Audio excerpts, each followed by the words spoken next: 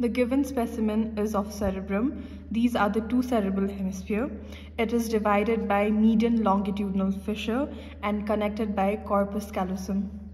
Each cerebral hemisphere is ovoid in shape. Now moving on towards the, si the site determination. We look at the frontal pole, temporal pole and occipital pole. Uh, the the first one is the frontal pole. Behind it lies temporal pole uh, in its lower aspect and in the posterior aspect occipital pole is present. Each cerebral hemisphere has three surfaces, superolateral surface, medial surface and the inferior surface. It is divided by three borders, superomedial border, inferomedial border and inferolateral border. Each cerebral he hemisphere has six borders. This is the superior medial border. The inferomedial border is further divided into three anatomically. The anterior most portion is medial orbital border. The middle portion is inferomedial border and the posterior most is medial occipital border. Moving on to the lateral aspect, the anterior portion is superciliary border and the remaining portion is inferolateral border. Now talking about the lobes in the cerebrum, primarily there are four lobes present in the cerebrum, frontal lobe, parietal lobe, temporal lobe and occipital lobe. These four lobes are formed with the help of three main sulci and two imaginary lines. Three main sulcus are central sulcus, lateral sulcus and parieto-occipital sulcus.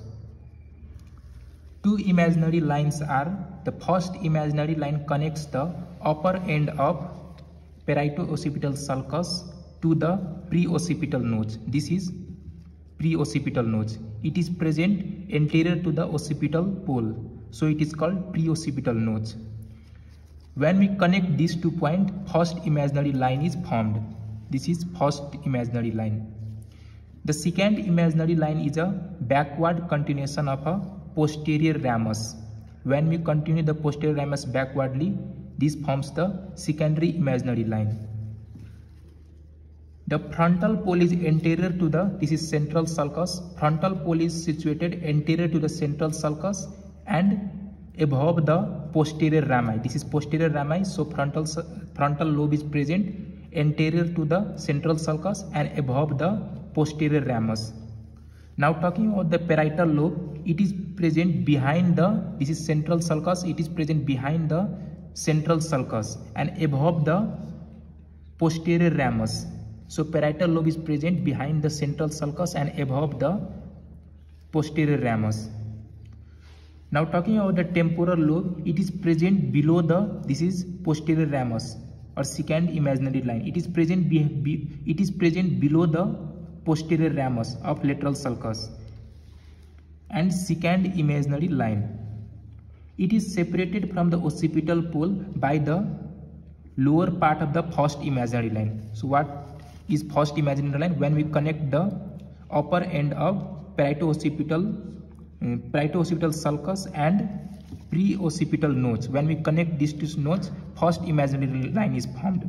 So temporal lobe is present below the Posterior ramus of the lateral sulcus.